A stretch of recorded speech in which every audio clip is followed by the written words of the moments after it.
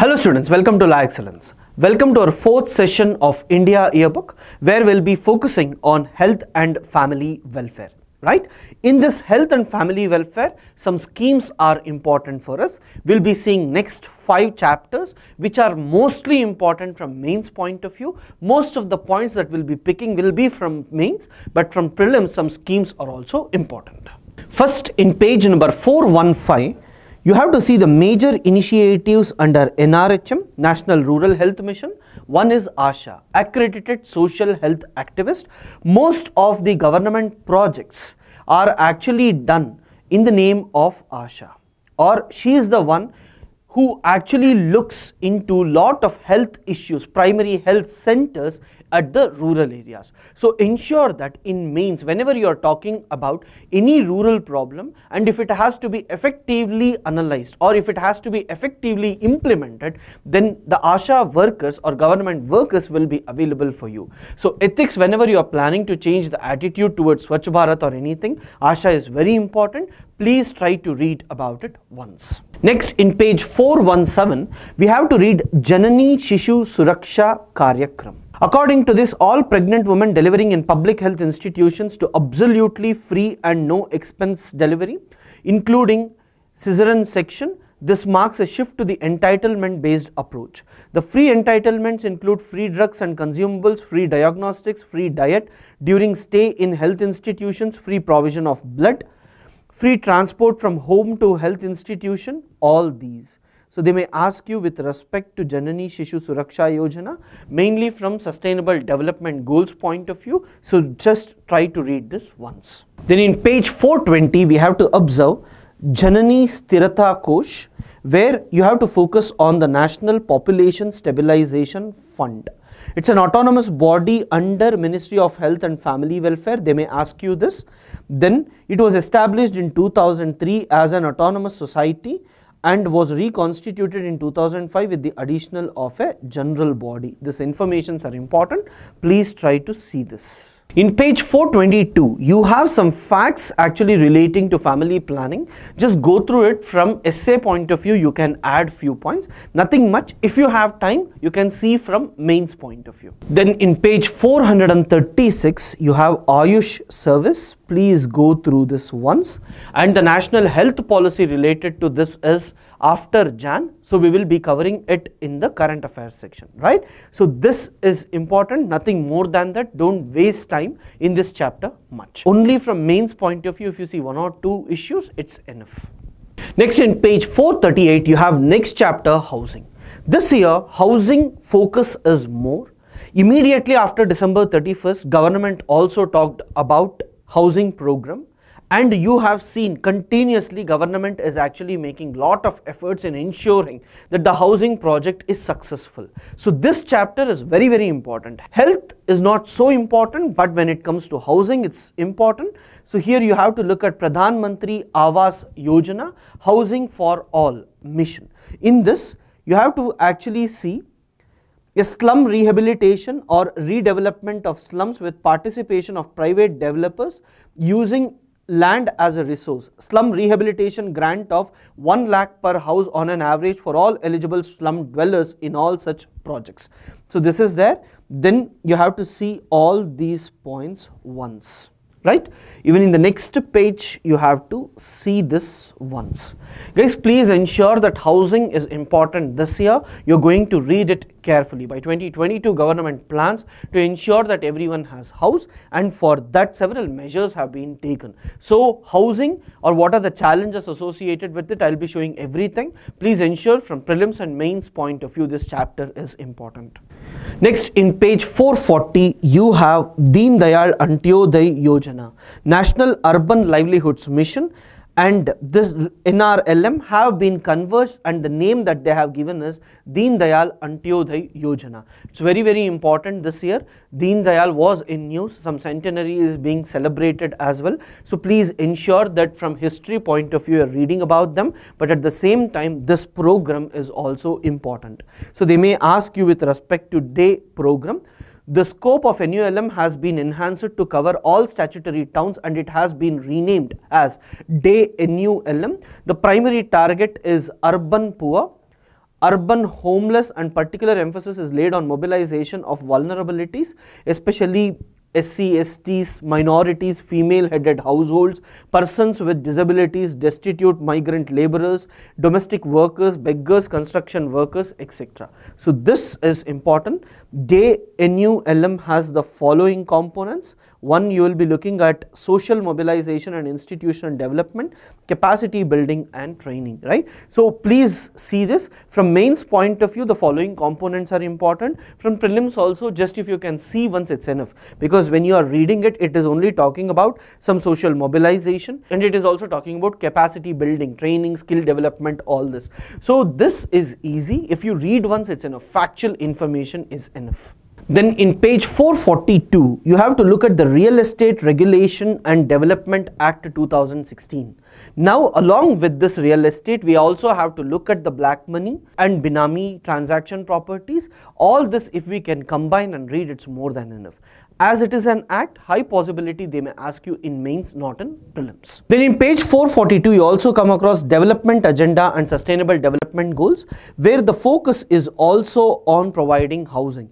The United Nations General Assembly in its 68th session adopted 17 goals and 169 targets post 2015 sustainable development goals. There is no question till now on sustainable development goals. High possibility they may ask you a question about this. The Ministry of Housing and Urban Poverty Alleviation is participating in these meetings and dialogues with regard to the negotiations underway. So just go through it once, not so important, but the goal 1 and goal 8 to end poverty is important and decent work is also important right.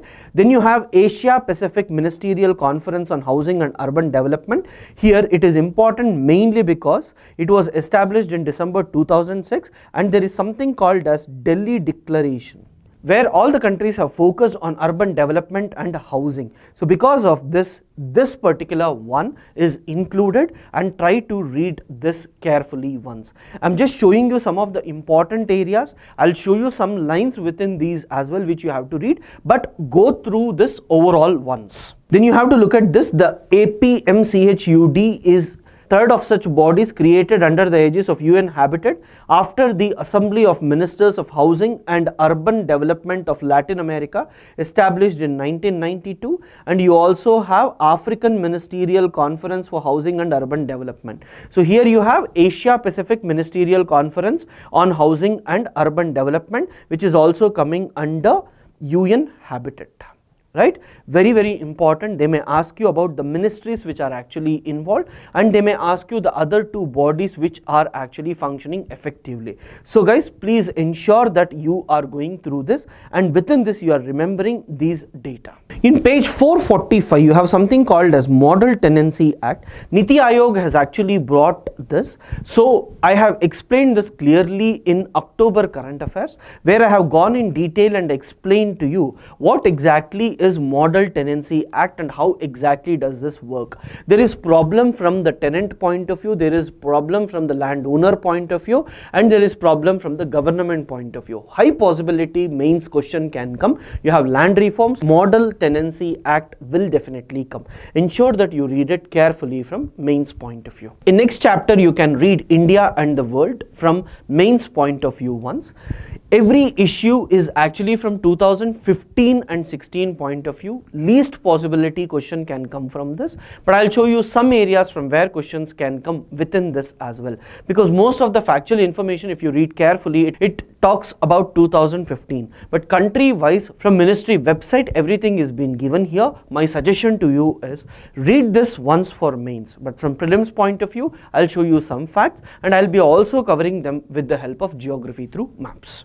In page 462, you actually have international north-south transport corridor where you have to focus on the international north-south transport corridor made significant progress during the year following upon the dry run study conducted by Federation of Freight Forwarders Association in India on the INSTC route India hosted an interactive session followed by expert level and a conference to popularize the INSTC route in Mumbai in December. Customs officials of India, Russia and Azerbaijan also met. So this is important. This year also, I'll be talking from current affairs point of view, international north-south transport corridor. High possibility you may get a question, not from the factual information which is here, but I'll be giving you separate factual information. Again, I'm telling you guys, please try to remember. Current affairs, when I say it is not only India yearbook, it is a mixture of India yearbook, economic survey, and also the weekly current affairs that we are doing and monthly current affairs that, that we are doing. If you don't read all these, then your preparation is incomplete. Along with all this, geography through maps is required. So, I'll be covering whichever loopholes is there from one book, we will be covering in other books. So, if you just read one particular topic and say that I read this particular thing, but most of it is not there. When I say INSTC is important, it is important from this year point of view. And information where questions will come will be from this year point of view. This lecture I am dedicating only to India yearbook where I am showing what is important in India yearbook. But if I start explaining those additional concepts here itself, then you won't be having proper material to revise it. That's the reason with proper content related information will be shown to you. I have to show you OBOR as well, One Belt One Road Initiative of China, which all countries have agreed to be part of it. Then we have to say to counter it, we have International North-South Transport Corridor. What is the uses of this? So it takes time. That is the reason I am telling you, complete preparation if you are saying, please try to cover all these areas, not only one. Then in page 463, you have Tapi pipeline. Remember, it is Turkmenistan, Afghanistan, not Tajikistan. Then you have to also see a Shanghai Cooperation Organization. This year it is important because India is trying to be part of this. And in that you have to talk about UFA. Russia when it happened, India also started to be part of this. That is, it has agreed. 2017 it is formally joining. Whenever it formally joins, it becomes important for you. And as I told you, if you can go through this chapter completely, it will be helpful. Most of the information is given from 2015 point of view. You can see December 2015 and some are from 2016 as well. So don't worry much about this. Most of the IR questions will be from current affairs. This chapter is important from your mains point of view, but for prelims, just read once. Then let's quickly move to page 485 where you have to focus on sectors reserved for public sector that is which are not given to the private atomic energy railway operations other than construction. So they may give in the form of match of the following or 1 2 3 4 so please be careful. High possibility a question can come on this. Then in page 488 9 you have actually trends and growth of eight core industries right? Every year one or the other question is coming. We also keep repeating please see which are the eight core. And we always used to tell in the table please see the weightage that is been given. In next page you can see 490 they have given the weightage. They already have asked a question about the weightage which one has the highest. But still this question is important. Something or the other keeps coming. From this industry you will be reading mostly from economic survey point of view about the current facts. But older facts are also important when it comes to other important issue is national manufacturing policy where the focus is with the objective of enhancing the share of manufacturing to 25% and create 100 million jobs by 2022 they can actually use this and they may also talk about it is a public-private partnership basis through appropriate financing instruments and state governments are encouraged to adopt the instrumentalities provided in the policy. Please read National Manufacturing Policy once again. From mains point of view, they can ask you, India has adopted its National Manufacturing Policy and it has expecting that by 2022 it would do this. Is it possible or what are the challenges associated with this? Very important from both prelims and mains point of view. Next in page 491 you actually have national investment and manufacturing zones where you have to see that SEZs is now being replaced with NIMZs. In this it is called as an industrial township under article 243 Q1C of the constitution where it will be called as an urban area and all the things will be provided to it in the form of special purpose vehicle. There will be one institution which will be actually taking care of this and then the NIMZs would be different from SEZs in terms of size, level of infrastructure planning, governance structures related to regulatory procedures, etc. Right? So, how exactly is NIMZ separate from SEZs? You can see level of infrastructure planning, terms of size, governance structures related to regulatory procedures, exit policies, fiscal incentives, etc. So, if you can write this in your answers, it is more than enough. NIMZ from economy point of view is important. Then you have Make in India, just try to see once. Least possibility question can come, but still I would suggest you to see once. Then in page 493, you can actually come across industrial or economic corridors. Here you have to look at Delhi-Mumbai Industrial Corridor, right? So these are all projects which are being thought of within that Ahmedabad Dholera Special Investment Region. Important and in the next page you actually have Shendra Bidkin Industrial Park. They may ask you about these places. So please be careful and integrated industrial township Vikram Udyog Puri and integrated industrial township and integrated industrial township greater noida is also important. Guys please go through this once from nimz and dmic point of view. In current affairs we have actually seen east coast highway as well. So if you can see these two it's important. Then you have page 504 national ipr policy 2016 it just talks about creating ipr awareness in the public right, to create public awareness about economic, social and cultural benefits that are available. And then you have to talk about legal and legislative framework to have strong and effective IPR laws which balance the interest of rights of owners to larger public interest, administration and management to modernize. So this read once only from mains point of view they ask factual information nothing much to explain the problem with the schemes and india yearbook is lot of things are factual right? Wherever explanation is required i can spend some time in helping you. But these are factual information and least possibility that they may ask you a question. But if at all they ask you you should be in a position to write. That is the reason i'm helping you to mark them. Wherever specifically i tell high possibility that upsc may ask a question like this and all then it becomes very very important and you need to revise them more number of times. But these things it's fine. Then in page 552 you have mineral resources, metallic minerals and then you have non-metallic minerals. Geography you would have read this but for the present information you have to see. Earlier this itself was given in some 6 pages. At that time we used to see or we used to ask students to read everything.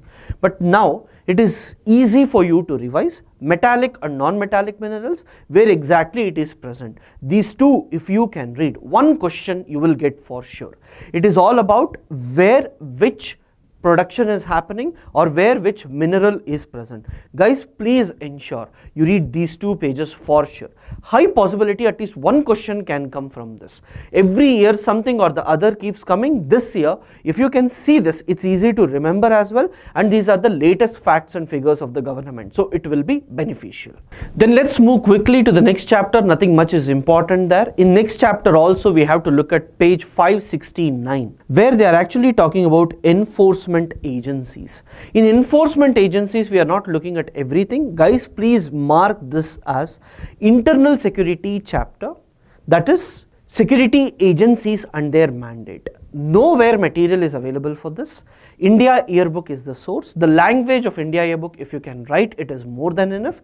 You can see first Indo-Tibetan border police right indo-tibetan border police is actually present across India and China McMahon line. So what are its major work? Please try to see these two paragraphs. I'm just trying to tell you, see if you have ITBP, as there are mountains present in that region, they will be well equipped with guerrilla warfare. If you are talking about the BSF, which is actually present along Pakistan border and Bangladesh border, they will actually fight against the insurgency groups army and the terrorists as well. At the same time, they also check who are coming, what they are getting along with it. Trade is also seen near LOC and all. Then when you talk about Assam rifles in Myanmar, they are anti-insurgency groups. So every department has its own work. For this, there is no material available anywhere. So that is the reason I am telling you Internal security, please see border security force with respect to India and Bangladesh and India and Pakistan. Then Assam rifles between India and Myanmar.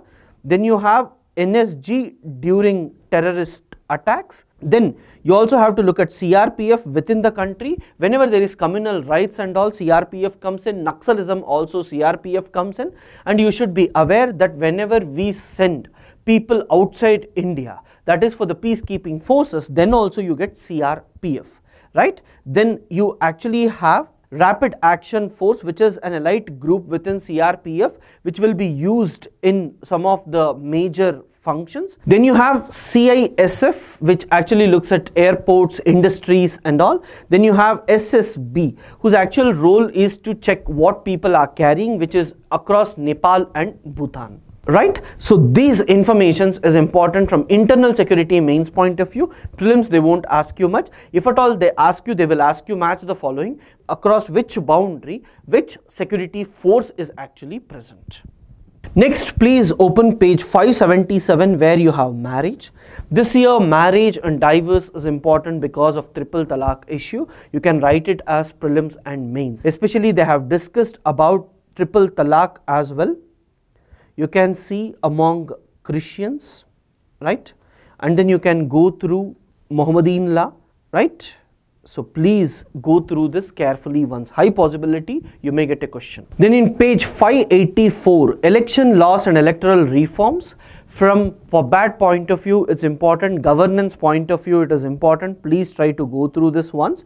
And what is more important this year is about the EVMs. Some factual information can be asked about EVMs and EVM VVPAT. Please go through this once.